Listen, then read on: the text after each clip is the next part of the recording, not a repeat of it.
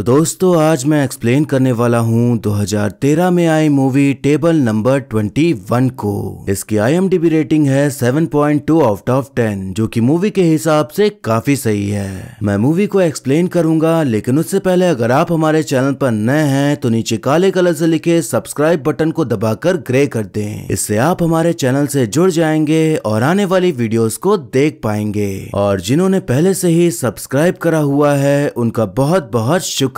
आप लोग ऐसे ही चैनल से जुड़े रहिए, मैं आपके लिए वीडियोस लाता रहूँगा। और मुझे थोड़ा और करीब से जानने के लिए आप मेरे इंस्टाग्राम या फेसबुक अकाउंट को भी फॉलो कर सकते हैं। लिंक आपको डिस्क्रिप्शन में मिल जाएगा। तो मूवी की शुरुआत में हमें एक सीन दिखाया जाता है कि एक लड़का एक ऊँची बिल्डिंग से छलांग मारकर खुद की जान ले लेता है। यहाँ हम देखते हैं कि कोई कैमरा लेकर उसकी मौत को फिल्माते हुए इंटरनेट पे लाइव था और कई लोग उस लड़के की मौत को देखकर एंटरटेन हो रहे थे। अब इसके बाद हम एक शादीशुदा प्रेमी जोड़े को देखते हैं, जिसमें कि पुरुष का नाम विवान और महिला का नाम सिया होता है। दोनों ही फिजी नाम के शहर जा रहे थे, क्योंकि उन्हें लक्की ड्रॉ में उस शहर को घूमने का फ्री गिफ्ट हैम्पर मिला था। तो वो बहुत खुश और अपने आप को बहुत खुश किस्मत मान रहे थे कि उन्हें ये मौका मिला। उनकी ये ट्रिप महँगे होटल में रहने से लेकर हर महँगी जगह घूमने, खाने पीने और अयाशी करने से भरी पड़ी थी। वो भी सब कुछ फ्री में। आपको मैं इन दोनों के बारे में कुछ चीज़ें बता देता हूँ, जिससे कि आपको आगे चलकर चीज़ों को समझने में आसानी होगी। विवान के पास फ़िलहाल कोई नौकरी नहीं थी तो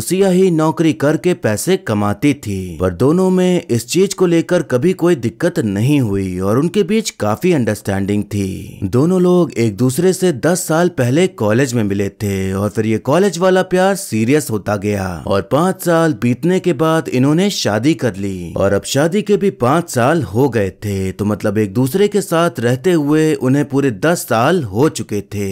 सिया शुद्ध शाकाहारी थी, अगर वो अपने सामने मांस मच्छी देख ले तो वो घबरा जाती थी। और अगर कहीं उसको सूंघ ले तो उसे उल्टी ही आ जाती थी। आज उनकी शादी की सालगिरह थी तो उनके पास हैप्पी एनिवर्सरी का कार्ड आता है, जिसमें कि लिखा था कि आपको लंच के लिए इनवाइट किया जाता है। दोनों को प्लेन में सफ़र करा के एक रेस्टोरेंट ले जाया जाता है, जहाँ उनकी मुलाकात होती है मिस्टर खान से, जिन्होंने ये पूरा ट्रिप उनके लिए स्पॉन्सर किया था। अब हम देखते हैं कि तीनों लोग आराम से मदिरा पान करते हुए एक दूसरे से बात कर रहे होते हैं कि तभी मिस्टर खान बताते हैं कि इस रेस्टोरेंट का टाई अप एक लाइव गेमिंग वेबसाइट से है, जिसके 80 लाख यूज़र्स हैं और गेम का नाम है टेबल नंबर 21 वो कहते हैं कि आप लोग मुझे बहुत अच्छे और बुद्धिमान टाइप लगे तो आपको ये गेम ज़रूर खेलना चाहिए। मिस्टर खान बताते हैं कि इस लाइव गेम में मैं आपसे आठ सवाल पूछूँगा, जो कि आपकी ज़िंदगी से जुड़े होंगे, और हर सवाल से जुड़ा आपको एक टास्क दिया जाएगा। जिसे कंप्लीट करना होगा। जवाब आपको सिर्फ़ हाँ या ना में देना होगा। और इस गेम को अगर जीत गए तो आपको 21 करोड़ रुपए मिलेंगे। लेकिन शर्त यह है कि आप गेम को बीच में छोड़कर नहीं जा सकते। जीत की इतनी बड़ी रकम सुनते ही दोनों का दिमाग हिल जाता है कितना ज़्यादा पैसा कौन दे सकता है। विवान सिया से कहता है कि मुझे तो कुछ गड़बड़ लग रही है, पर सिया कहती है कि उसे हमारे बारे में कितना ही पता होगा। और सिर्फ़ आठ सवाल ही तो हैं। खेल लेते हैं तो क्या ही दिक्कत है। मिस्टर खान एक कांच का ग्लास लेकर उस पर हल्के से चम्मच मारते हैं। तो वहाँ मौजूद सभी लोग रेस्टोरेंट से बाहर निकल जाते हैं और पूरा एरिया गेमिंग रूम बन जाता है। फिर एक आदमी एक टेबल लाता है जो कि गेम का पूरा सेटअप था। और वहाँ और भी लोग आ जाते हैं कैमरा लेकर, क्योंकि ये गेम लाइव दिखाया जाता था। टीवी में नहीं, बल्कि एक वेबसाइट पर। दोनों ने गेम खेलने के लिए हाँ कर दी थी। तो मिस्टर खान उनसे कॉन्ट्रैक्ट साइन करवाते हैं, जिसमें कि लिखा हुआ था कि ये गेम वो अपने मर्ज़ी से खेल रहे हैं और वो सारे नियमों का पालन करेंगे। उनके फ़ोन ले लिए जाते हैं और दूसरे फ़ोन दिए जाते हैं, जिसमें सिर्फ़ कॉल आ सकती थी, लेकिन जा नहीं सकती थी। उनके हाथ में लाई डिटेक्टर मशीन बाँध दी जाती है, ताकि पता चले कि वो झूठ बोल रहे हैं या सच, क्योंकि इस गेम में सिर्फ़ सच बोलने की ही अनुमति थी। अब मिस्टर खान विवान से पहला सवाल पूछते हैं, जो कि एक करोड़ का था, कि क्या आप अपनी बीवी से पब्लिक प्लेस में प्यार जताने में शर्म महसूस करते हैं। दोनों लोग सोचते हैं, ये तो बड़ा आसान सवाल था। तो विवान हाँ में जवाब देता है। और लाइट डिटेक्टर की लाइट हरी जलने लगती है, जिसका मतलब कि उसे सच में शर्म महसूस होती है अपनी पत्नी से पब्लिक प्लेस में प्यार जताने में। अब मिस्टर खान उसे टास्क देते हैं कि आपको इस शहर के सबसे बिज़ी सड़क के बीचों बीच अपनी बीवी के होठों से होठ मिलाकर प्यार जताना होगा। उन्हें ये टास्क भी बड़ा आसान लगता है। तो उन्हें उस जगह पहुँचा दिया जाता है, जहाँ इस हसीन टास्क को पूरा करना था। विवान थोड़ा सा घबरा रहा होता है, क्योंकि ऐसा करना उसे पसंद नहीं था। और वहाँ आसपास लोग उन्हें देख भी रहे थे, और साथ ही साथ ये सब कुछ इंटरनेट पे लाइव चल रहा था। पर सिया उसे प्रोत्साहित करती है कि एक करोड़ की बात है, और सिर्फ़ किसी तो करना है। तो विवान आगे बढ़ते हुए सिया के होठों को अपने होठों से छूते हुए सड़क के बीचों बीच उसे किस कर ही देता है? यहाँ पर हमें एक फ्लैशबैक दिखाया जाता है, जहाँ हम देखते हैं कि सिया एक पार्टी में अपने दोस्तों के साथ नाच रही होती है और विवान उसे दूर बैठे देख रहा होता है। ये वो वक्त था जब सिया और विवान एक दूसरे को नहीं जानते थे।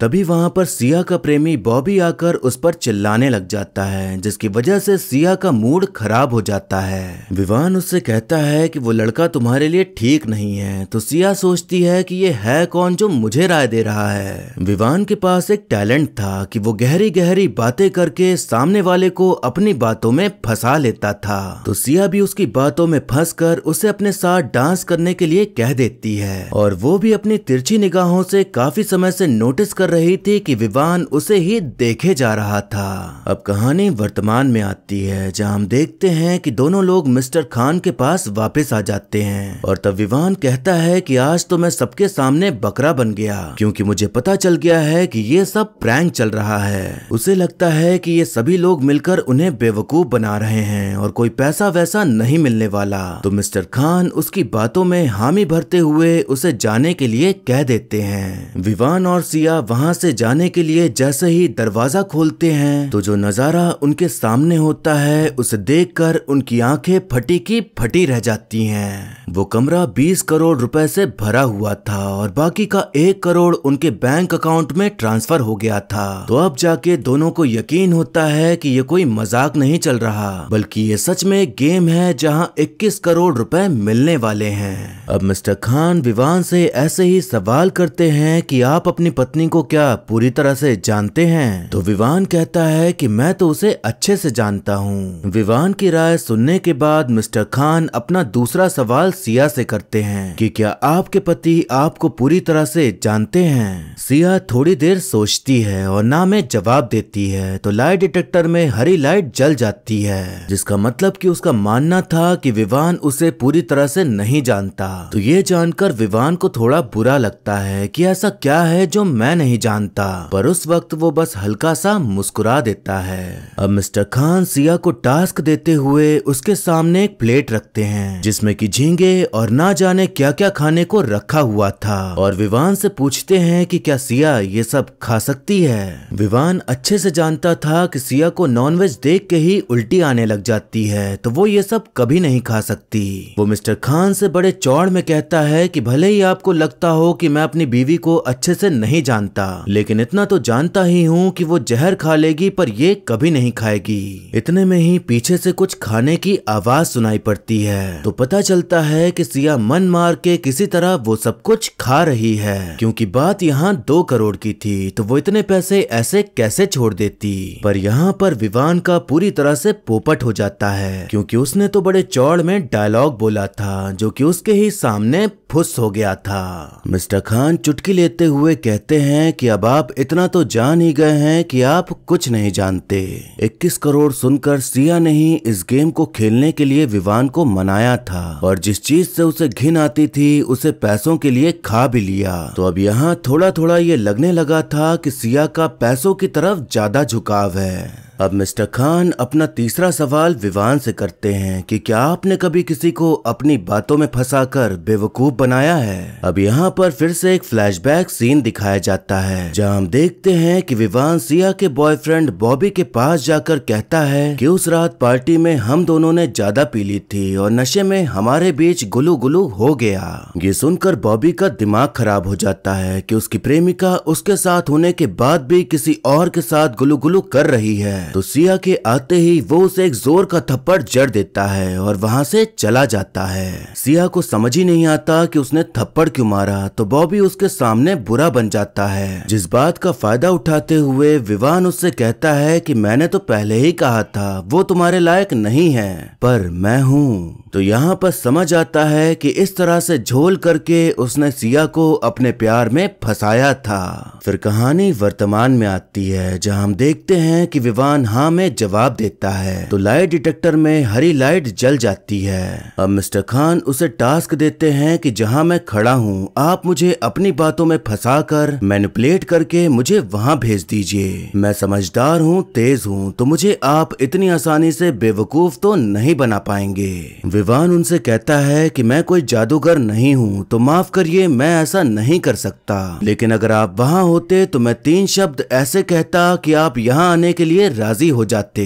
मिस्टर खान सोचते हैं कि वो ऐसे कौन से तीन शब्द हैं जो मुझे वहाँ जाकर पता चलेंगे। तो वो जल्दी से वहाँ जाकर खड़े हो जाते हैं। वो दोनों लोग हंसने लग जाते हैं क्योंकि विवान ने अपनी बातों में फंसा मिस्टर खान को वहाँ पहुँचा ही दिया था, जहाँ पहुँचाने का उन्होंने टास्क दिया था। और इस तरह वो बेवकूफ़ बन जाते हैं और दोनों लोग तीन करोड़ रुपए जीत जाते हैं। सिया बहुत खुश हो रही थी कि हम लोग इतनी आसानी से इतने सारे पैसे जीत गए। पर विवान को थोड़ा शक हो रहा था कि शायद मिस्टर खान जानबूझकर मुझसे बेवकूफ़ बने। पर सिया उससे कहती है कि गेम को एंजॉय करो और इतना टेंशन मत लो। अब मिस्टर खान विवान से चौथा सवाल पूछते हैं कि क्या आप अपने प्यार को बचाने के लिए किसी भी डर का सामना कर सकते हैं? विवान थोड़ा सोचता है और हाँ में जवाब देता है तो हरे रंग की लाइट जल जाती है, जिसका मतलब कि वो सिया के लिए कुछ भी कर सकता था। मिस्टर खान उन दोनों को एक जगह पर ले जाते हैं और सिया को कांच से बने एक बॉक्स में लॉक कर देते हैं। और चाबी एक जगह लगाकर विवान को एक ग्लास की ओर इशारा करते हुए कहते हैं कि आपको इसमें अपना आधा लीटर खून भरना होगा, तभी ये बॉक्स खुलेगा। और अगर ऐसा नहीं कर पाए तो सिया की दम घुटने से मौत हो जाएगी। अब यहाँ फिर से कहानी फ्लैशबैक में जाती है, जहाँ हम देखते हैं कि विवान के दोस्त कॉलेज के दरवाजे पर एक बाल्टी टांग देते हैं, ताकि जो आएगा, उसके ऊपर बाल्टी में भरा पानी गिर जाएगा। एक लड़का दरवाज़ा खोलता है तो बाल्टी से पानी नहीं, खून गिरता है, और वो लड़का खून से पूरा नहा लेता है। विवान को हीमोफोबिया था, यानी कि खून देखकर डर जाना। तो वो इतना सारा खून देखकर तुरंत ही बेहोश हो जाता है। तो जो इंसान खून देखकर बेहोश हो जाता हो, वो अपना खून कैसे निकाल सकता था? और यही विवान के लिए सबसे बड़ा चैलेंज था कि वो करेगा कैसे? मिस्टर खान बताते हैं कि इस बॉक्स में केवल सात मिनट की ही ऑक्सीजन है। इसलिए जल्दी करो, वरना आपका प्यार कुर्बान हो जाएगा। विवान के पास उस वक्त मिस्टर खान की बात मानने के अलावा और कोई ऑप्शन नहीं था। तो वो तुरंत बॉटल लेके अपने हाथ में सुई घुसेड़ कर खून निकालने की कोशिश करने लगता है। उसकी हिम्मत ही नहीं हो पा रही थी खून निकालने की, और बीच बीच में बेहोशी भी आ रही थी। पर वो कैसे भी करके आधा लीटर खून बोतल में भर के सिया को उस बॉक्स से निकाल ही लेता है। विवान गुस्से में मिस्टर खान से कहता है कि अगर सिया को कुछ हो जाता तो? मिस्टर खान कहते हैं कि इस गेम का एक ही नियम है कि अगर आप झूठ बोलोगे तो मरोगे। तो जब तक आप नियम का पालन कर रहे हैं, तब तक आप ज़िंदा रहेंगे। अब तक जो खुशी दोनों को मिल रही थी पैसे जीतकर, वो अब थोड़ा चिड़ में बदल जाती है। पर अब बारी आती है अगले सवाल की। मिस्टर खान पांचवा सवाल सिया से करते हैं कि अगर आपके बाल ना हो तो क्या विवान आपसे तब भी उतना ही प्यार करेंगे, जितना अभी करते हैं। सिया को पता था कि विवान उससे प्यार तो बहुत करता है तो वो हाँ में जवाब देती है। तो हरी लाइट जल जाती है, जिसका मतलब कि वो सही है। अब मिस्टर खान सिया को टास्क देते हैं कि आपको अपने सारे बाल मुझे देने होंगे। सिया कहती है कि ये क्या बकवास है? तो मिस्टर खान कहते हैं कि अब जिसका पति बेरोजगार हो, बेकार हो, उसके लिए तो एक एक रुपए मायने रखता है। फिर ये तो पाँच करोड़ का सवाल है। और बाल तो बाद में आ ही जाएँगे, पर ये पैसे कभी नहीं आएँगे। सिया तब भी बाल कटवाने से मना कर देती है। तो विवान कहता है कि जब तुम नॉनवेज खा सकती हो तो बाल कटवाने में क्या दिक्कत है? ये भी करवा ही लो, क्योंकि जितनी जल्दी ये खत्म होगा, उतनी जल्दी हम यहाँ से निकल पाएँगे। सिया ना चाहते हुए भी हामी भर ही देती है। तो मिस्टर खान कहते हैं कि आपके बाल आपके पति काटेंगे और उसके सामने एक ट्रिमर रख देते हैं। यहाँ पता चलता है कि सिर्फ़ बाल ही नहीं काटने हैं, बल्कि पूरा टकला होना है। तो इस चीज़ को करने के लिए विवान मना कर देता है और 21 करोड़ को लात मार के अपना गुस्सा दिखाकर वहाँ से जाने लगता है। वो लोग एक बोट पकड़ के वहाँ से निकल ही रहे होते हैं कि तभी उनके कलाई में बंधी लाई डिटेक्टर वाली घड़ी बजने लग जाती है। वहाँ पर रखे वॉकी टॉकी से मिस्टर खान की आवाज़ आती है कि आप जितना दूर जाओगे, आपके लिए उतना ही खतरा बढ़ता जाएगा, क्योंकि मेरी रेंज से दूर जाने पर यह घड़ी बॉम्ब बनकर फट जाएगी और आप लोग मारे जाएँगे। क्योंकि गेम खेलने की शर्त ये थी कि आप गेम छोड़ के नहीं जा सकते। पर उस वक्त उन्हें अपनी जान प्यारी थी, इसलिए वो लोग वापस जाने का सोच लेते हैं, क्योंकि और कोई ऑप्शन भी नहीं था। वो दोनों मिस्टर खान के पास पहुँच जाते हैं। तो सिया उससे कहती है कि ये सब गैर कानूनी है। मिस्टर खान कहते हैं कि आपने कॉन्ट्रैक्ट साइन किया था, जिसमें कि साफ़ साफ़ लिखा है कि आपने अपनी आज़ादी इस गेम के नाम कर दी है। और कानून की तो ऐसी की तैसी। मेरे लिए मेरी वेबसाइट के यूज़र मायने रखते हैं, जिन्हें आप लोगों को ऐसे देखकर मज़ा आ रहा है। तो आप जल्दी फैसला कीजिए कि क्या करना है। उनके पास दो ही ऑप्शन थे, या तो अपना हाथ काट कर वो घड़ी निकाल दें, या सिया टकली हो जाए। तो वो दूसरा ऑप्शन चूज़ करते हैं। ना चाहते हुए भी सिया को टकला होना ही पड़ता है। और इस वक्त मैं फील कर पा रहा हूँ कि आपको भी सिया के लिए बुरा महसूस हो रहा होगा। पर अभी तो ये बस शुरुआत है। मिस्टर खान मज़े लेते हुए कहते हैं कि अगर यही बाल मंदिर में निकाले होते तो आपको सिर्फ़ पुण्य मिलता। पर यहाँ तो आपको पैसे मिल रहे हैं और उसी पैसे में से थोड़ी चैरिटी कर देना तो पुण्य भी मिल ही जाएगा। अब मिस्टर खान विवान से छठा सवाल करते हैं कि क्या आपने कभी अपनी बीवी पर हाथ उठाया है? यहाँ फिर से एक फ्लैशबैक सीन दिखाया जाता है कि सिया और विवान में झगड़ा चल रहा है, क्योंकि सिया ने विवान को बिना बताए, बिना सलाह लिए खुद ही अबॉर्शन करवा लिया था। सिया उससे कहती है कि अभी हमारे इतने अच्छे हालात नहीं कि हम बच्चा कर सके, और ये कोई आखिरी बच्चा नहीं था,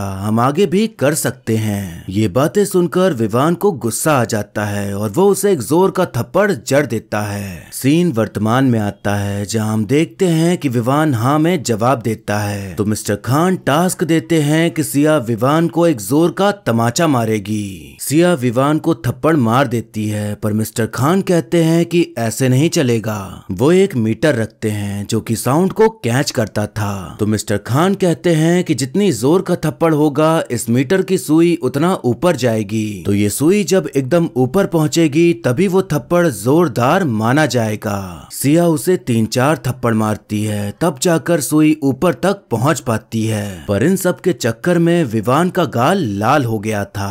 अब मिस्टर खान अपना सातवां सवाल विवान से करते हैं कि क्या उसने कभी किसी को बेवजह नुकसान पहुँचाया है? तो विवान हाँ में जवाब देता है। उसका अगला टास्क होता है कि उसे किसी अनजान की गाड़ी फोड़नी है तो उसे हॉकी देकर कहीं छोड़ दिया जाता है। विवान किसी की गाड़ी फोड़ने लगता है तो उसका मालिक आकर उससे लड़ाई करना शुरू कर देता है और वहाँ पुलिस भी आ जाती है। पुलिस विवान को पकड़ के ले जाने लगती है तो विवान उन्हें समझाने की कोशिश करता है कि ये एक गेम का हिस्सा है और मुझसे ज़बरदस्ती गेम खिलवाया जा रहा है, पर पुलिस वाले को कुछ भी समझ नहीं आ रहा था। सिया अभी भी वहीं थी तो पुलिस को झांसा देकर वो वहाँ से कैसे भी करके निकल जाता है। विवान जब वापस आता है तो देखता है कि सिया गायब है। तो मिस्टर खान कहते हैं कि तुमने किसी बाहर वाले की मदद लेने की कोशिश की तो उसकी सजा अब सिया भुगत रही है। मिस्टर खान दिखाते हैं कि सिया को तैयार करके एक क्लब में भेज दिया गया है, जहाँ हफ्सी लोग मौजूद हैं। विवान का खून खोल उठता है, पर मन ही मन गालियाँ देने के अलावा वो कुछ नहीं कर सकता था। मिस्टर खान कहते हैं कि इससे पहले कि तुम्हारी बीवी के साथ कुछ ऊंच नीच हो जाए, तुम उसे जाके बचा लो। विवान तुरंत भागते दौड़ते, गिरते पड़ते सिया सिया के पास पहुँच जाता है और उसकी इज़्ज़त लुटने से उसे बचा लेता है। सिया रो रो कर विवान से कहती है कि ये हमारे साथ ही क्यों हो रहा है विवान? तभी वहाँ मिस्टर खान आकर कहते हैं कि आप तो कम से कम नसीब वाली हैं, कि इतना सारा भुगतने के बाद आपको पैसे मिल रहे हैं। विवान उनसे कहता है कि ये तो मैं समझ गया हूँ कि ये कोई गेम नहीं है। मिस्टर खान कहते हैं कि शुक्र मनाइए कि ये गेम ही है। अगर ज़िंदगी होती तो कब का आपने अपनी जान ले ली होती?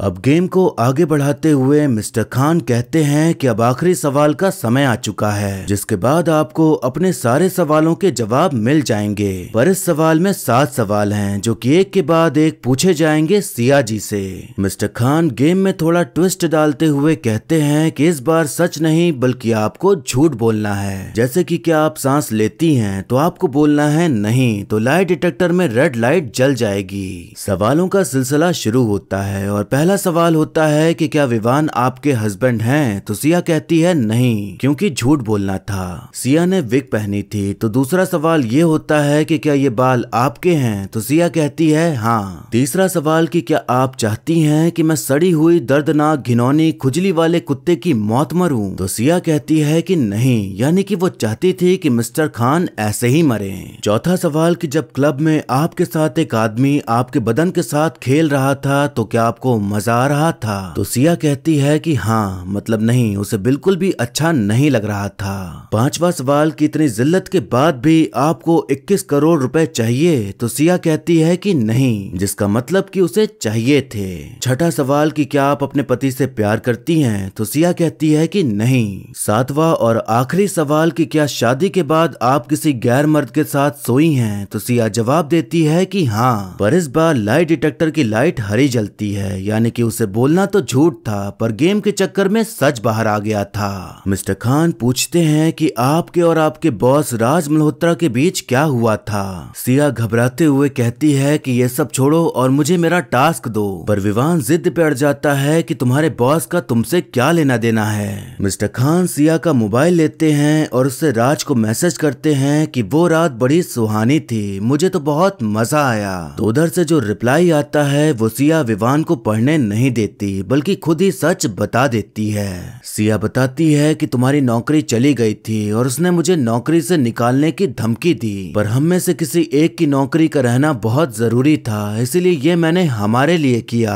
विवान को बहुत बड़ा झटका लगता है कि ये राज अब तक उससे छुपा हुआ था, और वो जिससे प्यार करता था, उसने उसे धोखा दिया।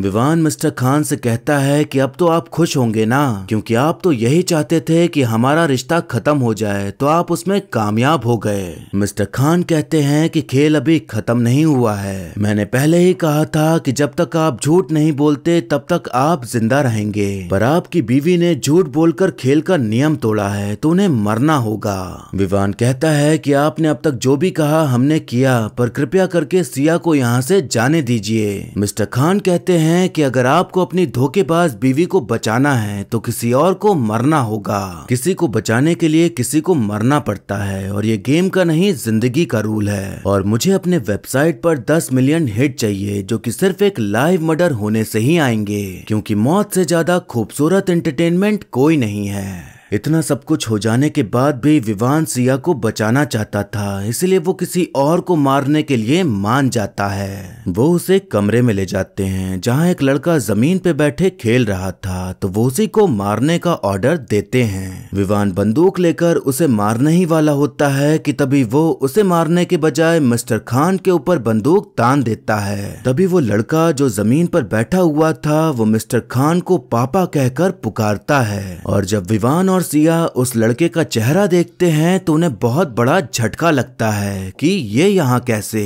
मिस्टर खान विवान से कहते हैं कि उसे शूट करो तो विवान कहता है कि मैं इसे नहीं मार सकता। मिस्टर खान कहते हैं कि दस साल पहले तो तुमने उसे आधा मार ही दिया था तो अब पूरा भी मार दो, वरना मैं सिया को मार दूँगा।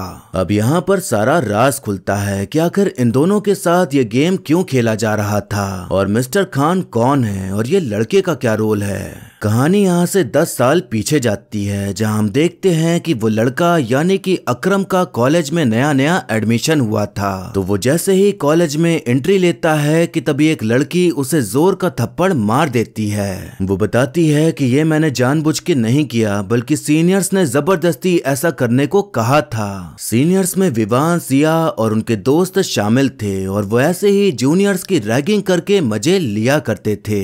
अक्रम को भोला भाला लड़का समझकर वो उसे ही अपना मन पसंदीदा टारगेट बना लेते हैं। क्योंकि वो पहली बार में ही समझ गए थे कि उसके साथ कुछ भी कर लो, वो कुछ नहीं कहेगा।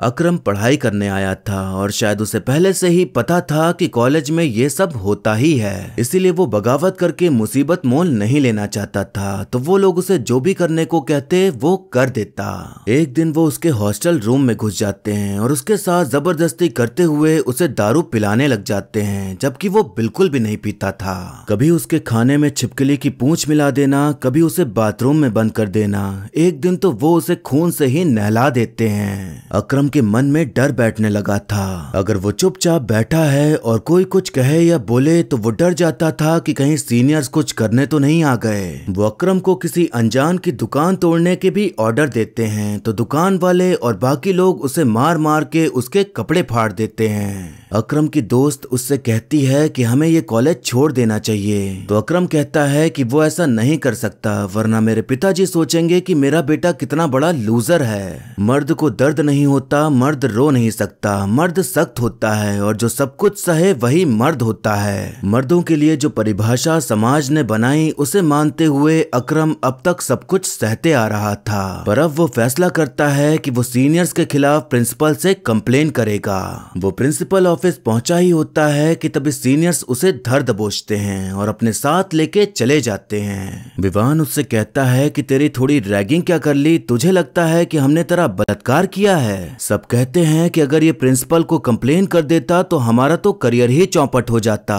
तो इसी गुस्से में विवान अक्रम के पूरे कपड़े उतार के उसे सबके सामने वस्त्रहीन कर देता है। फिर उसके बाद वो ट्रिमर लेकर उसके पूरे बाल निकाल कर उसे टकला कर देता है। वहाँ खड़ा एक लड़का इस कुकर्म की बड़े मज़े से वीडियो बना रहा था। और बाकी सब आराम से खड़े हंस हंस के मज़े ले रहे थे, जैसे कि वो बहुत बढ़िया काम कर रहे हों। लेकिन उन्हें बिल्कुल भी अंदाज़ा नहीं था कि वो कितना घटिया काम कर रहे हैं। अक्रम सब कुछ सहते आ रहा था, पर उस रात उन्होंने उसके साथ जो टॉर्चर किया, वो उसके दिमागी संतुलन को पूरी तरह से बिगाड़ देता है, जिसके कारण वो मेंटली डिस्टर्ब हो जाता है, और आज उसकी ये हालत हो गई थी कि वो ज़िंदा होकर भी ज़िंदा नहीं था। विवान और सिया को अब जाकर समझ आता है कि क्यों उन्हें फ्री में ट्रिप का ऑफ़र मिला और क्यों ये गेम खेला जा रहा था। मिस्टर खान अकरम के पिताजी थे और अपने बेटे की हालत उनसे देखी नहीं गई। दोनों ने इन दोनों को सबक सिखाने का फैसला कर लिया और पूरे प्लान के साथ यहाँ बुलाया और उसी तरह के टास्क दिए जो जो उन्होंने उनके बेटे के साथ किया था। सब कुछ बर्बाद होने के बाद अब जाकर दोनों को एहसास होता है कि उन्होंने क्या गलत किया था। तो विवान अकरम को मारने के बजाय वो अपनी ही कनपटी पर बंदूक रख के चला देता है। पर बंदूक पूरी तरह से खाली थी, यानी कि मिस्टर खान किसी को मारना नहीं चाहते थे। बस एहसास दिलाना चाहते थे कि उनसे क्या गलती हुई, जो कि अब सारी ज़िंदगी उन्हें याद रहेगी। और अंदर ही अंदर उनको खाती रहेगी कि उन्होंने ऐसा क्यों किया था। मिस्टर खान कहते हैं, कितनी आसान मौत मैं तुम्हें पहले ही दे देता। लेकिन इससे तुम्हें अंदाज़ा नहीं होता कि मेरा बेटा किस आग में जला था। विवान कहता है कि हमने कभी नहीं सोचा था कि हमारा मज़ाक उसकी ये हालत कर देगा। मिस्टर खान गुस्से में कहते हैं कि किसी भोले भाले इंसान को भेड़ियों की तरह उसकी इज़्ज़त, उसकी शख्सियत को नोच लेना मज़ाक नहीं होता। सबके सामने मेरे बच्चे को नंगा करके उसे अपने ही नज़रों के सामने गिरा दिया। एक मासूम की मासूमियत के साथ खिलवाड़ करना मज़ाक या मर्दानगी नहीं होती। मैंने हंसता खेलता बच्चा भेजा था। तुम लोगों ने उसका पुतला बनाकर भेज दिया। मिस्टर खान कहते हैं कि आज मेरा टास्क पूरा हुआ और तुम लोग आज़ाद हो जाने के लिए। लेकिन ये पाप तुम्हारा पीछा कभी नहीं छोड़ेगा। मिस्टर खान अकरम को वहाँ से लेके चले जाते हैं। और अपसिया और विवान के पास वहाँ बैठ के रोते हुए अपनी गलतियों का पछतावा करने के अलावा और कुछ नहीं बचता। आठ सवाल हो चुके थे और गेम खत्म हो चुका था। और कमाल की बात यह कि इस गेम को लोगों ने सबसे ज़्यादा देखा और पसंद किया। और अब इसके बाद इस गेम का भी काम खत्म हो जाता है। हमें आखिर में लिखा मिलता मिलता है कि रैगिंग कोई मज़ाक नहीं है, बल्कि अपराध है। हमें अक्रम जैसे कई लोगों की सच्ची कहानियाँ बताई जाती हैं जो रैगिंग का शिकार हुए। कुछ बच्चों को रैगिंग के बाद साइकेट्रिक ट्रीटमेंट की ज़रूरत पड़ी। कुछ ने तो तंग आकर अपने जीवन को ही खत्म कर लिया। ऐसे ही हमें कई सारी जानकारी दी जाती है कि कितने बच्चों के साथ क्या क्या हुआ। और इसी के साथ ये मूवी यहीं पर खत्म हो जाती है। तो दोस्तों, आपने जो मूवी देखी, शायद ही आपने कभी इस तरह की फ़िल्म बॉलीवुड में देखी होगी। और अब तो ऐसी बढ़िया स्टोरी वाली मूवीज़ देखने मिलती भी नहीं, क्योंकि रीमेक का तांता लगा रहता है। रीमेक ना सही तो कोई पैन इंडिया फ़िल्म बनाने में लगा होता है, जिसे सब देखें। तो कोई इस तरह की स्टोरीज पे काम करने का सोचता ही नहीं है। और अगर एक आध बन भी जाए तो वो भयंकर तरीके से फ्लॉप हो जाती है तो कोई दोबारा बनाने का रिस्क भी नहीं लेता। मूवी की बात करें तो हमें यहाँ बहुत ही अच्छे तरीके से मैसेज देने की कोशिश की गई है, जो कि आपकी सोच पर असर डाले। और आप इस चीज़ के बारे में सोचने पर मजबूर हो जाएँ कि किस तरह से ये मज़ाक मस्ती, जब चरम सीमा को पार कर जाती है तो किसी के द्वारा किया गया मज़ाक किसी की ज़िंदगी बर्बाद कर देता है। रैगिंग कल्चर बड़े बड़े कॉलेजेस में हमेशा से रहा है, और इसे ऐसा दर्शाया जाता है जैसे कि ये नॉर्मल होता है हर कॉलेजेस में, और इतना तो चलता ही है। इतना नहीं सहोगे तो मज़बूत कैसे बनोगे अगर इसकी जड़ तक जाएँ तो ये समझने को मिलता है कि अपना रॉब दिखाने के लिए सीनियर्स ने ये सब चालू करा। और फिर जब जूनियर सीनियर बने तो उन्होंने सोचा कि हमारे साथ हुआ तो हम भी करेंगे। फिर ये सिलसिला चलने लगा। अब किस इंसान की सोच कितना बुरा सोच सकती है, इसी बात पर डिपेंड करता है कि मस्ती मज़ाक किसी के लिए मानसिक उत्पीड़न ना बन जाए। ये रैगिंग कल्चर मेडिकल और इंजीनियरिंग कॉलेजेस में ज़्यादा देखने को मिलता है। और ये जानकर आप हैरान होंगे कि हम सबने कभी न कभी किसी की रैगिंग कर रखी है। किसी को कुछ नाम देकर उसे उसी नाम से पुकारना या चिढ़ाना, भले उसे पसंद हो या ना पसंद हो तो वो भी रैगिंग में ही आता है और ये चीज़ हम सबने कर रखी है। दोस्त होते हैं तो उनके साथ मस्ती मज़ाक चलता है, पर जो दोस्त नहीं, बस आपका क्लासमेट है तो उसके साथ अगर आप कुछ करते हैं जो कि उसे अच्छा नहीं लग रहा तो वो भी रैगिंग ही होगी। पहले के समय रैगिंग का दबदबा था, पर थोड़े नियम कानून बनने के बाद अब ये बहुत कम हो गई है। और उतना नहीं रह गई कि किसी को अपनी जान देनी पड़े या मेंटली अनस्टेबल हो जाए। 2009 में धर्मशाला के कॉलेज में रैगिंग का एक केस हुआ था जहाँ अमन काचरू नाम के लड़के के साथ भयंकर रैगिंग हुई। फिर उसके बाद यूजीसी यानी कि यूनिवर्सिटी ग्रांट्स कमीशन ने सुप्रीम कोर्ट से संज्ञान लेते हुए एक कमेटी बैठाई और रैगिंग के खिलाफ सख्त नियम बनाए। यहाँ पे मैंने ये स्क्रीनशॉट लगा दिया है, जिसे पढ़कर आप जान सकते हैं कि रैगिंग करने वाले की सजा क्या है। यहाँ पर आप ये पढ़ सकते हैं कि रैगिंग करने वाले दोषी के ऊपर क्या क्या धाराएँ लग सकती हैं। इस स्क्रीनशॉट में आप पढ़ सकते हैं कि यूजीसी ने क्या गाइडलाइंस बनाई हैं जो कि कॉलेजेस को फॉलो करना होगा ताकि रैगिंग ना हो। नियम कानून तो हर चीज़ के बनते हैं, पर उन्हें कितना ज़्यादा फॉलो किया जाता है वो देखने वाली बात है। अब किसी नेता या अमीर बड़के बाप का बेटा या बेटी कुछ करता है तो ये सब नियम कहाँ ही काम आते हैं। हालाँकि अब इन सब केसेस में गिरावट आई है और लगभग सब बंद ही हो गया है। पर अगर आपने अब भी कहीं देखा हो, ऐसा होते हुए या आपके साथ ही हुआ हो या हो रहा हो तो कमेंट करके बताइए कि क्या ये चीज़ें अब भी हो रही हैं या कोई सुधार हुआ है। अकरम अपने पिता से कुछ बता ना पाया, क्योंकि उसे लगा कि वो उसे कमज़ोर समझेंगे। तो बात यह है कि परिजनों को भी इन सभी चीज़ों को समझना चाहिए कि वो अपने बच्चों के साथ ऐसा रिश्ता बना कर रखें कि अगर उनके साथ कुछ गलत हो रहा हो तो उन्हें बता सकें, न कि उनसे डरें। अब एक्टिंग की बात करें तो विवान यानी कि राजीव खंडेलवाल और सिया यानी कि टीना देसाई, इन दोनों ने ही काफ़ी बढ़िया काम किया है। इस फ़िल्म में परेश रावल सर का लुक काफ़ी हटके देखने को मिलता है, जो कि काफ़ी सही लगा, और एक्टिंग तो दमदार है ही उनकी। मुझे बस एक कंफ्यूजन लग रही थी कि गेम क्या वाकई में था हमेशा से, या फिर सिर्फ़ उन दोनों को सबक सिखाने के लिए सब ऐसे ही नाटक था। आपने डार्क वेब के बारे में तो सुना ही होगा तो मैं आपको बता दूँ कि इस तरह के गेम डार्क वेब की वेबसाइट पर बहुत खेले जाते हैं और लोग किसी को टॉर्चर होते या दर्द में देख कर एंटरटेन होते हैं। तो ऐसे गेम सच में होते हैं, पर आम जनता को इन सब की कोई जानकारी नहीं है। आपको क्या लगता है कि टेबल नंबर 21 नाम का गेम सच में था या फिर सब कुछ नाटक था उन दोनों को सबक सिखाने के लिए? नीचे कमेंट करके ज़रूर बताइएगा। तो ये था एक्सप्लेनेशन टेबल नंबर 21 मूवी का। आपको मूवी और मेरा एक्सप्लेन करना कैसा लगा ये कमेंट करके ज़रूर बताइएगा। और ऐसे ही आने वाली वीडियोस देखते रहने के लिए हमारे चैनल को सब्सक्राइब करें और बेल आइकन दबा दें, जिससे कि आपको नई वीडियोस की नोटिफिकेशन मिल जाएगी। आप चाहें तो मुझे इंस्टाग्राम या फेसबुक पर भी फॉलो कर सकते हैं। लिंक आपको डिस्क्रिप्शन में मिल जाएगा। और वीडियो अच्छी लगी हो तो लाइक ज़रूर करें। आपके लाइक और कमेंट से मुझे और भी वीडियोस बनाने का मोटिवेशन मिलता है। तो मिलते हैं अगली वीडियो में। तब तक के लिए टाटा बाय बाय और नमस्ते। सब्सक्राइब कर देना और लाइक भी कर देना। बाकी सब तो आप जानते ही होगी क्या करना है। कमेंट भी कर दोगे तो अच्छा लगेगा। ठीक है? बाय